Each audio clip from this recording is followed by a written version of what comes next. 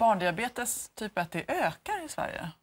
Ja, det har ökat i, det ökar i hela, väst, hela världen skulle jag vilja säga. Men eh, vi har ju näst Finland världens högsta frekvens och det har ökat så länge vi har haft någon registrering i Sverige sedan mitten av 70-talet. Mm. Så det, vad beror det på? Ja, tyvärr. Alltså, det, är, det, det är en gåta. Va? Den här sjukdomen vet vi inte vad den beror på. Man vet eh, rätt så väl vad typ 2-diabetes beror på, som äldre människor framförallt får. Ja, du får beskriva skillnaden där. Ja, skillnaden är ju att vid typ 2-diabetes då kan man producera insulin, men det räcker inte.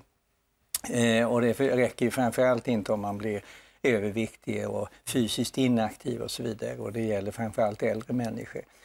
Men typ 1-diabetes som Fritjof har, då är det ju en katastrof som har inträffat för då har det egna immunförsvaret dödat de insulinproducerande cellerna mm. eh, och eh, man dör, punkt.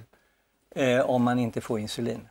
Eh, vilket man då måste ha hela tiden. Dels för att maskineriet ska gå... Alltså. Ja, det är ett ganska snabbt förlopp. Det vill säga, det är det nog egentligen inte för att det kan pågå, eh, så vitt vi förstår, under åratal till dess att man kommer till gränsen när insulinproduktionen inte räcker. Och då går det till synes snabbt. Så då faller man genom mm. vattenytan mm. och sjunker eh, på en, två, tre veckor. Men nu, hur stora förändringar måste ett barn göra då i sitt liv? Vi hörde om själva liksom kontrollen, men när det gäller mat och ja, leverna det är idag? stora förändringar. Du vet, det finns de som vill lite, man vill gärna att det ska vara positivt som man säger okej. Okay. En del säger livet är normalt. Jag tycker inte det är särskilt normalt liv att ta injektioner till varje måltid.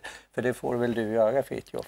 Eh, jag måste ta insulin varje måltid jag gör. Ja, varje gång du äter så ska du spruta insulin och den insulinmängden ska passa till den mat som kommer. Och hur ska man veta det då? Då ska man försöka bedöma kolhydratmängd och fett och protein och fiber. Och... Har du blivit expert på näringslära nu? Ja, det blir man. Och det, är liksom, det är inte alltid lätt som barn att veta hur mycket ska, ska jag äta. Nej. För det frågar vi han innan eh, han ska äta. Du, du, måste lägga upp på tallriken, du kan inte yeah. ta om och sådär om det var extra gott med pannkaka just idag? Eh, jo, det kan jag, men då får jag ta extra insulin. Mm. Mm. Hur tar du insulinet då? Eh, jag sticker med en penna i magen. Gör du det själv? Eh, ja, på denna sidan, alltså inte den för mm. att där du känner. Ja.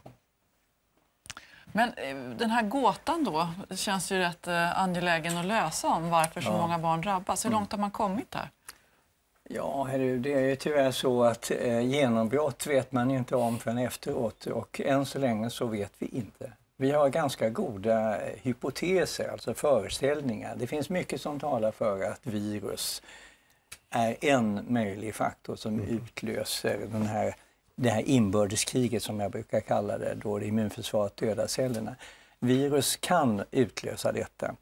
Eh, men eh, vi har aldrig identifierat något visst virus som gör att man skulle på det viset kunna vaccinera eller stoppa Och varför skulle just eh, Sverige vara ett sånt land? Ja, alltså vi, en, eh, en, möjlig förklaring som bidrar till att vi har, eh, det, det, är den uttalade hygienen som vi har. Vi har en väldigt uttalad hygien och det bidrar till att vi har ett starkt försvarssystem som är anpassat för att vi ska leva i det här kalla, fuktiga, eh, smutsiga som det var förr. Eh, livsstilen med, med loppor och löser parasiter och tuberkulos och maskar och allt möjligt. Och nu bor vi i slott och herresäten allihop väldigt, väldigt rent och fint och då kan vi inte rusta ner så då får vi mm. ungefär som när Sovjet föll, då blir det eh, inbördeskrig här och där. Va? Och eh, det får vi också.